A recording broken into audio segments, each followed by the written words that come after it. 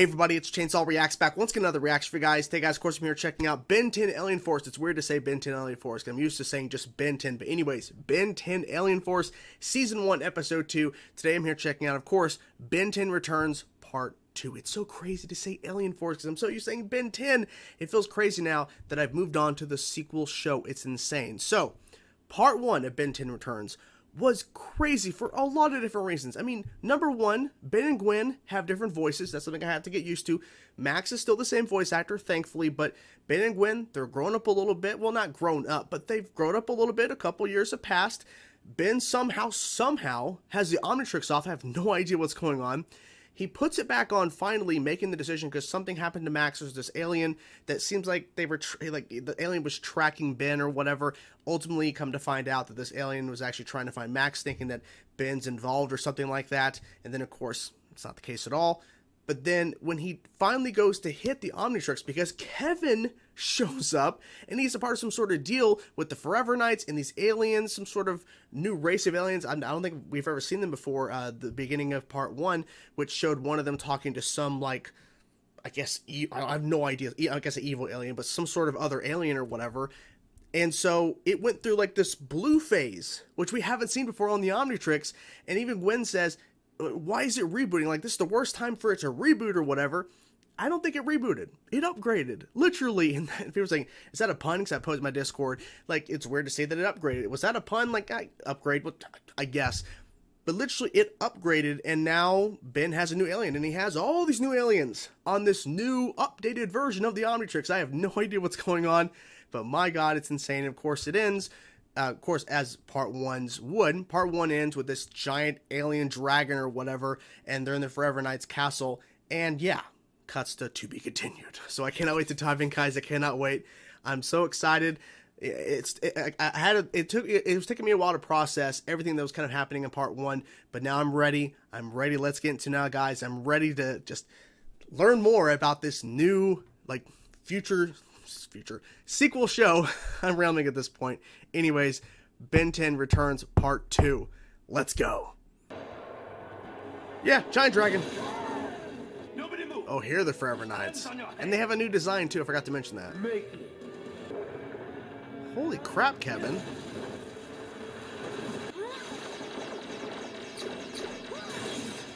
Oh, what? Where did they get a dragon? That's new. Wait, what? He's kicking ass. Taking names. Don't do it. It's busted. Yeah, don't do it. Uh-oh. That's why level They just killed that guy. Humans aren't ready for it. I love that like platform she's I think she, yeah, she used that in that first part. God, she's so good at magic. I love it. Got him, got him. What is that? A silent scream? Oh, it's not even real. It's a robot. I say, how'd they get a dragon in there? That's all. It's a lot of guns. Could you help? Yeah. That's not water. What's happening? Blood? You alright, man? what? What's happening? You, is he dying? You want to help me? Your grandpa was on the trail of something big. An alien wow. conspiracy with Earth in the middle. You are Ben Tennyson. Yeah, you, you are. Anything. Wow. I'm gonna need help. You know I'm here for you. Kevin? What? There's no money in this. I'm in. Okay, you're in. Okay. I should be able to trace the vibrations. About to say she's tracking That's or something. Who used to own it. Follow me. He's gonna float too. You just float on the side of the car. Follow it's fine. Anywhere. Down that mine shaft. We'll have to get past the. Oh, exactly. It's like the mask the aliens at the train station were wearing. Mm-hmm. They're obviously involved. We're getting warmer. Whoa. What are they doing exactly? It's the mothership. Don't you get it? Mothership. Grandpa Max has to be in there. Wow. So how do we get in? How's this work again? Perfect. Looks just like them. How do I look? Hey, how's it going? Don't speak to them. You're What's giving it away. Yeah, Cold. it's freezing in here. Mm. I owe you a call. Yeah, I don't know what that was all about. baby. Whoa, what's this power? She's able to see throughout the whole entire mothership? So now what? We just get out of here, right? Wrong. Grandpa Max taught me to ride my bike. He Wow, ran flashback. alongside me, holding me up while I pedaled. Training wheels off, guys. We're gonna finish the mission. Finish the mission. I like that. Let's go. All the weapons. Weapons Yep. Destroying them all. There you go. Humans, humans, humans. Oh yeah, I forgot they spit. Ugh. I'm really liking this new transformation sequence. It's awesome. Whoa! Wow, okay. Time. Hero time. Wow, he's big. Whoa. He punched his head off. Jesus. Just get out of here. You're nothing. You're nothing. You're nothing. wow. God, he's just kicking ass, taking names. Whoa. You creatures do Whoa. not my ship. I do not repeat myself. Is that the alien from part one, I think? I think it What are is. you doing on my ship? Ooh. Kevin! Oh, damn, he's strong. Oh. Kevin, get her out of here. You heard the man. Oh, come on. Come on, Ben. Filthy creature. Okay. This guy's brutal. Why would I do that? Come on, Ben. Ooh. You set our plans back months. What's the plan exactly? Destroy your life within five miles of here. Five No miles? witnesses will live to tell. They're biting him. You've The filth. infected me. He's going to destroy the town. How? I don't know, but he's going to do it now. And he's getting out of there. So I think it's all about working together, not just Ben doing it. He can get bigger. He's like Godzilla now. Jesus. Got yourself a big problem. My God. Hanging on. But that must be what destroyed. Yeah, yeah, stop that.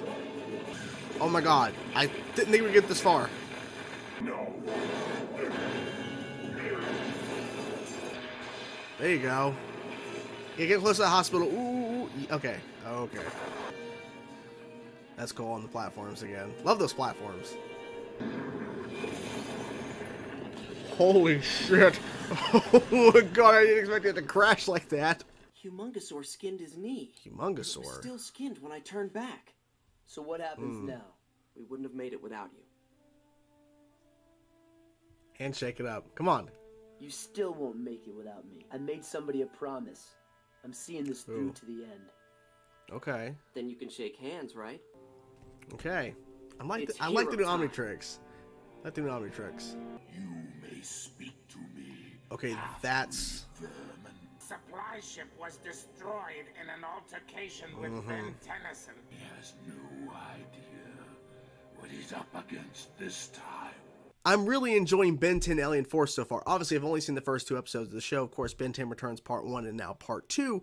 But I'm really, really enjoying it because it feels like Ben 10, but it feels like something more. And the fact is, they found a way to do some really cool stuff that they really couldn't have done in the first series. It's just because Ben and Gwen were younger, and of course, Kevin was really set up as a villain. Of course, he wasn't around like throughout the whole show. I mean, he popped up, of course, in um, season one and season two, and then, of course, season four as like a memory thing because they're Forever Knights. But the fact is that Kevin is now part of this kind of, and Max, I mean, we've seen a little bit of him, but he's not really a part of the show at the moment. But he's like part like he's not part the reason why this is going on why ben had to put the omnitrix back on and why gwen is helping ben again it seems like they really haven't been do- doing too much since ben 10 kind of wrapped up in regards to all those stories it seems through those years uh, leading up to now there really wasn't much going on and kevin eh, they, they just kind of you know things i mean times past everything you know people change even though they were kids now they're teenagers still it's it, some time has passed, so things are going to change and things are going to be a little different.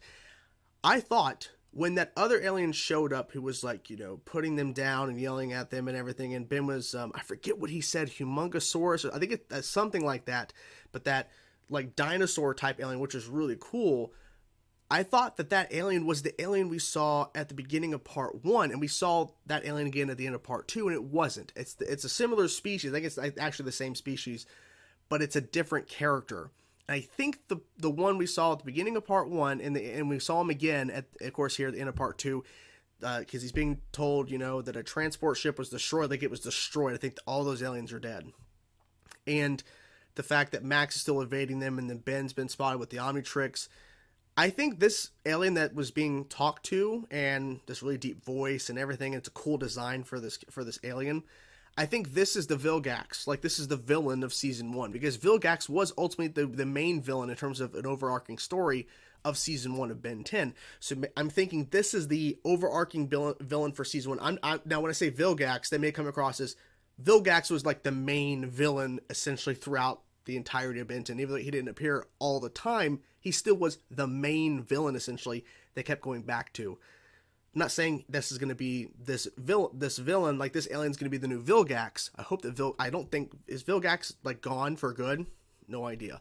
I don't think so, based off of uh, potential future uh, storylines with Ben 10, uh, Ben 10,000, not Ben 10, Ben 10,000 and everything. So potentially Vilgax could reappear. I think I, I think he he might because he's not dead. I don't think so. Anyways, I think he I think he has to come back. But this might be the new overarching villain for the first season. We'll see what happens. But what I liked about this episode is we got to see more new aliens from Ben, and the fact is, it seems like he's just kind of he's kind of picking the pace up. He's picking he's he's figuring out pretty quick. Because when the episode continues from part one and now part two with that what turns out to be a robot giant dragon, Ben turns into a like what looked like a version of Ditto. Because when it started splitting, I'm thinking Ditto, but it's not. It's this robotic like alien that's like mimicking the same words or whatever as it's like running at the at the dragon, robot dragon, and then has a silent scream that destroyed like the, the, the body of the robotic dragon and everything. And then they used those silent screams to destroy the guns. I don't remember the name of the alien, the one that has been helping Ben and Gwen in part one and was here a little bit for part two, who who, who died. That was a that was a pretty a pretty big moment, I think, for Ben to be told by this alien who who knows his grandfather, who's saying you have to finish the mission. You know, he's out there, find the source of the weapons, all that kind of stuff. Like there's something big going on with these weapons and everything, and why they were on Earth. Why are they destroying within a five mile radius? Why are they cleansing things and destroying life and everything a certain radius so they can do stuff? What's going on with this, right? But him telling Ben that you can do this, you know, I basically giving him that pep talk he needs. Because a little bit later, when they're in the ship, Ben talks about what Grandpa Max helped him ride a bike and let him go as he kept going. And it was a flashback even before the events of Ben 10. He was younger. And he says by the time I realized that he had let go, I was so I was I've been riding around by myself for a long time. And essentially cuz he had he had said in part 1 and said to that alien as he was dying at the of course towards the beginning of part of part two after the big fight went down which was really cool. Uh, and the fight of course in the alien ship as well the mothership was cool too as they called the mothership. But saying that I, I can't do this alone. I need my i need grandpa max. He knows what to do. He always knows what to do. Like he he doesn't know if he can do this.